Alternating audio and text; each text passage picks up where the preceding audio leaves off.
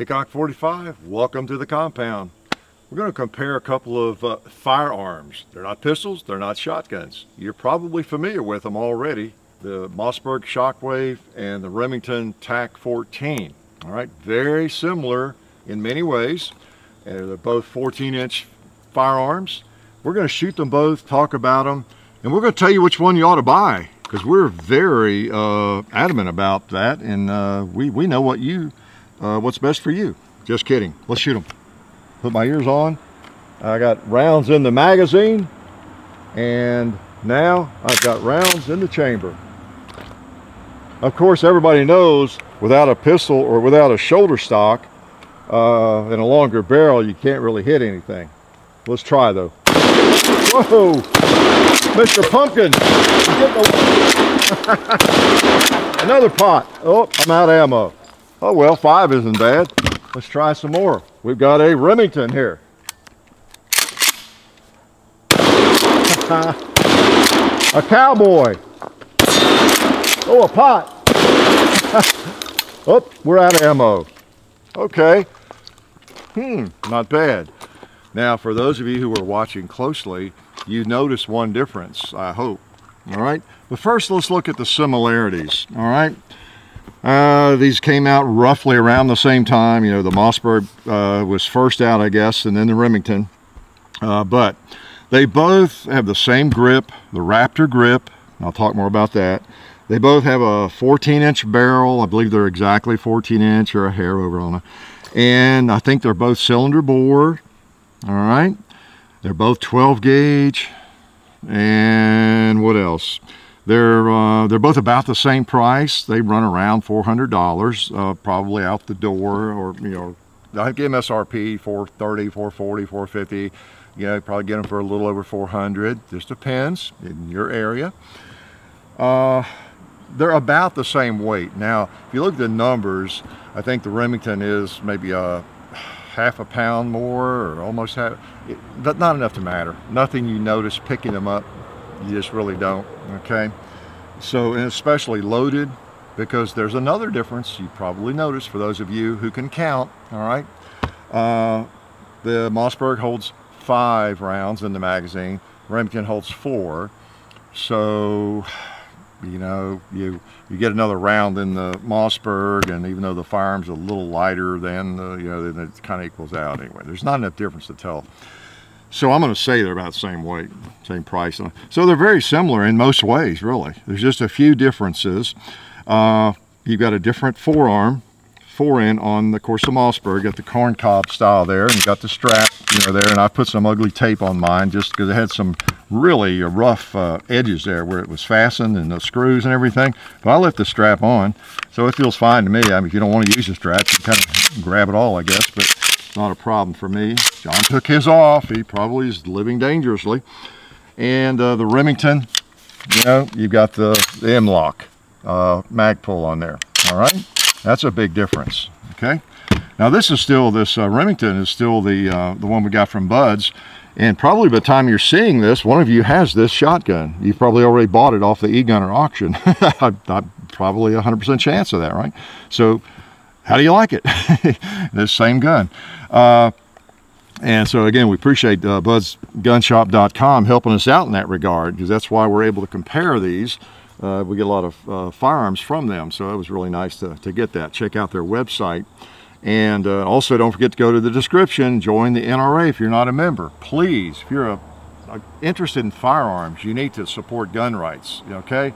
Uh, the NRA the biggest, most powerful, not perfect, but they're the most powerful, so you ought to be a member.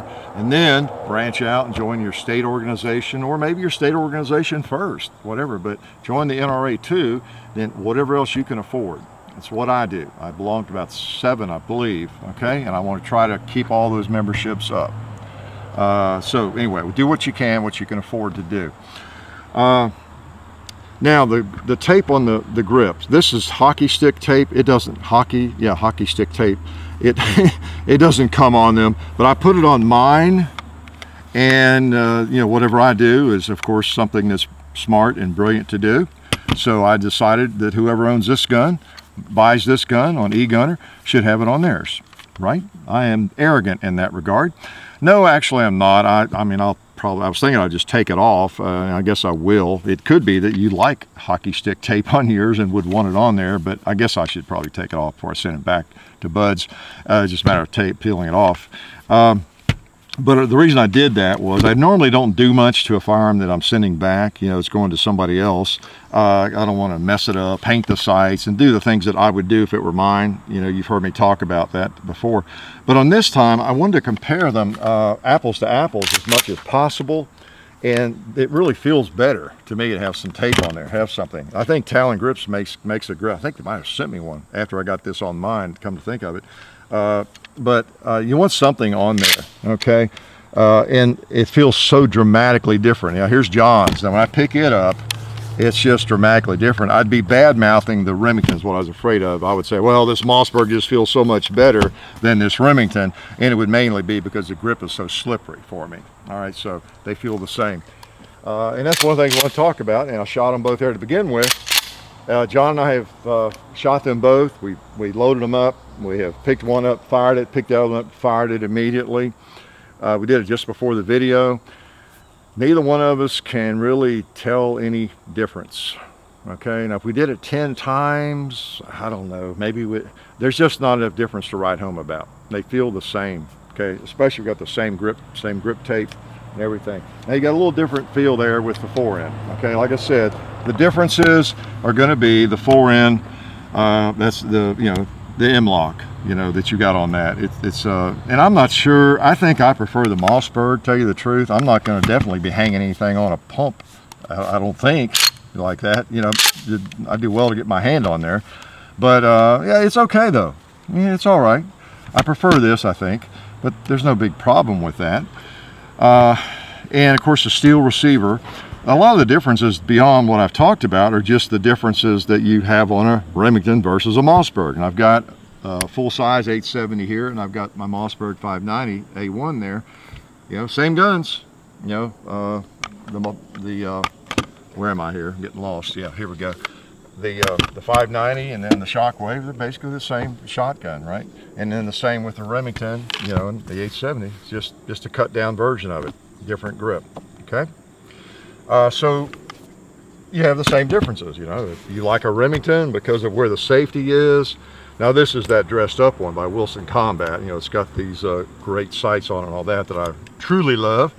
But still, generally, you got the same operation of an 870. Okay, your location of your safety, crossbolt safety, and the feel of it, and uh, the, the uh, slide release up there, you know, versus on the Mossberg where it's kind of back here and then you got your ambidextrous safety on your Mossberg. So it kind of depends on where you come down on, on some of those differences as to which of these you would prefer. Okay, if you just absolutely love a steel receiver, then you know you probably going to like the Remington, or you like the feel of the forend better on on one of them versus the other one. Here's a Remington with a steel receiver. I mean, they look alike. They're easy to confuse. Uh, you really have to almost look at the forend to, to keep track of which one you're, you're talking about. So there's not a lot of difference. I, I'll tell you, there's not a lot to fret over. If you're trying to decide which of these to buy, you're definitely going to buy one of them. You know, you can't go too terribly wrong either way. Now, again, with Remington, you know, these days and the Freedom Group, you might want to take that into consideration. I don't know. Uh, this thing has seemed to be fine. We fired it quite a bit and, uh, you know, seems to operate just, just fine. So uh, but that is an issue that bothers a lot of people, the quality control at Remington in recent years.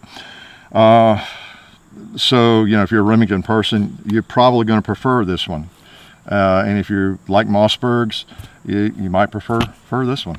I have no trouble with the alloy receivers, as I've said, on, on a Mossberg or a Benelli. You know, they work just fine. I don't know anybody who has broken the receiver on their Mossberg. you know, I just don't and uh, I'm perfectly happy with that. So, but again, there's just not a lot of difference in that. Let's let's see. Let's see. We're not going to shoot a lot. Now, one of the differences, uh, yeah, I think I covered all the similarities pretty much. Um, you know, they both require no paperwork. They're not NFA items. You all know that by now. They're not considered a pistol or a shotgun. They are a firearm, all that. But now the Mossberg, you can put an adapter on it and shoot the mini shells. That's why I got a few of these out here. And so I stuck that in John's just to show you.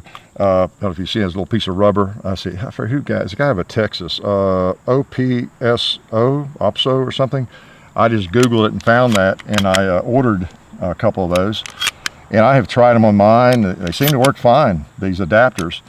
And uh, you, you watch it won't work now, but uh, you shoot these mini shells in the Mossberg. And these are seven and a half, so I don't have any double-aught buck in that or anything. Uh, so, what are we going to shoot? Two liter. 10, boom. All right, another two, another one. fun, fun, fun, fun. Let's shoot that target. Wow, it just keeps shooting. I'll bet it's because I've got those little mini shells in it. So now if that's something that appeals to you, and that is pretty cool, I have to admit. Uh, now, some, I think the KSG will actually function those, as I've, I've read, but uh, I'm not a huge fan of the KSG, but uh, I am of these, the Mossberg. Um, so that's pretty cool. Uh, that is one point in favor of the Mossberg. And that's just a little rubber piece. You just, you stick right in there and it comes in and out pretty easily, okay? So if you want to shoot mini shells, and let's see, what did I, I learned? Uh, this holds, the Mossberg holds five rounds of two and three quarter uh, shells, and it holds eight of the mini shells in the magazine. So it's not like you get 15 in there or anything, but it was just holding eight. So, but that's nice. That's like a, a full length uh, shotgun, basically. You get eight of those. And there's a, now I'm not an expert on these mini shells. I don't think Federal makes those, I think, but uh, they, they're available, I believe, in uh, double-aught buck and uh, slugs, because I've got some slugs and, and birdshot I found. It's hard to find. Uh, so, you know, that might be something. it's not like you're firing, uh, you know, 22s. Uh, those things have a little punch. Yeah, they really do. And I'm, I'm not, again, that familiar with them. There's probably some that would be adequate for defensive use. So, uh, you know, if you've got something this size with eight rounds or eight plus one, uh, 12 gauge, that ain't all bad, is it? Uh, and it doesn't recoil much. Not like a, I don't know, maybe a little more than a 410, but kind of in that neighborhood. Yeah, you could do worse, couldn't you? So that's that, that's a that's a plus in favor of the Mossberg, I'd say right now. Uh, it could be that this same company is working on that adapter for, or something like that, you know, for the Remington. I don't know. You keep track of that. Same. So, what was I going to do? We'll, we'll shoot double-aught in both of them, okay? And then we'll. Uh, I guess there's no reason to, to fire them a lot. I, I just wanted to give you some idea, at least what our thinking is on them. I think John and I both probably prefer the Mossberg, but uh, there's still not a lot of difference uh, between the two. Now this is the Remington, so it holds four. All right, and let's open another box and put uh, five would be good. Put five in the, the Mossberg. Uh, the mini shells is a pretty neat capability. In this particular gun, John and I pretty much agree that the fact that it holds five uh, is a big difference maker, okay? Because that's one thing you're doing when you cut this thing down to this size is you're limiting your, your capacity. But with the Mossberg, you know, it's just five, and with this it's four. That's, when you get down to that area, that's, that's kind of a big difference. You know, what is that, 20%, something like that? So, you know, that's a plus. I've got five plus one. There's a lot of full-length shotguns that don't hold more than that. You know, they don't have a true full-length uh, magazine or whatever. So, all right, now this is, uh, what I just put in there? I meant to put in some yeah, double-aught buck. Okay, that was all double-aught buck. So this will kick a little more, but that's okay. Remington. Oh yeah, that's pretty stout. Oops, shot high. nice. Another cowboy down there. Oh, that put the hurt on him. Quick. Now that that's for some pretty hot stuff. It was, uh, I guess, high brass, but doesn't hurt you. You get a good grip on that. Feels all right. You can stand it. I have confidence in you. Here's some more of it. Tombstone. Wow, look at that. Ouch, ouch, that would hurt. Whew, wouldn't want to be on the other end of that. Look at that, dead center of that little, of that plate.